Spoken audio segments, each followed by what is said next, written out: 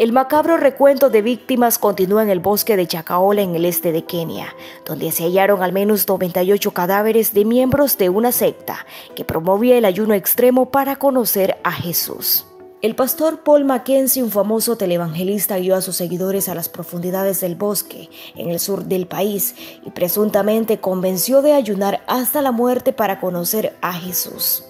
El descubrimiento la semana pasada de tumbas masivas coronadas con crucifijos, muchas de ellas con restos de niños a quienes sus padres hicieron morir de hambre, conmocionó este país mayoritariamente cristiano. Kenia no es ajena a los conocidos pastores que predican incendiarios sermones y predicen el fin del mundo, y los intentos de regular la religión se topan con una fiera oposición. Según la Cruz Roja Keniana, 212 personas han sido reportadas desaparecidas. Muchos acusan a las autoridades policiales y judiciales de no haber actuado antes.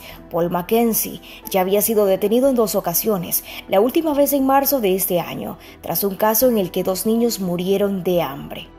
Este drama ha reavivado un debate sobre el control del culto religioso en Kenia, país predominantemente cristiano donde los pastores de las iglesias y otros movimientos religiosos marginales son a menudo noticia. Para el ministro de Interior esta masacre debería conducir no solo a un castigo más severo para el autor o los autores de atrocidades, sino también a una regulación más estricta de cada iglesia, mezquita, templo o sinagoga en el futuro.